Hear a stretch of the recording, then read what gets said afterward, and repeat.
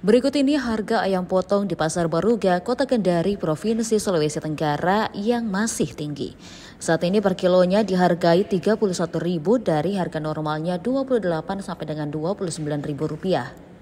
Sedangkan per ekornya ukuran 2 kilo atau 1,7 sampai 1,8 kg dihargai Rp65.000 rupiah.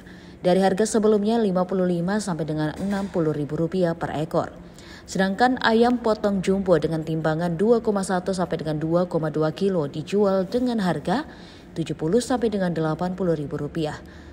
Salah satu pedagang ayam potong Irfan mengaku naiknya harga karena kurangnya bibit ayam potong di perusahaan. Selain itu adanya harga pakan ternak yang juga sedang naik. Ia mengatakan harga ayam potong yang distok dari beberapa perusahaan di Sultra itu telah naik sejak menjelang Hari Raya Idul Adha. Dengan kondisi tersebut, tak jarang kata Irfan juga sering mendapat keluhan dari masyarakat karena harganya yang masih mahal.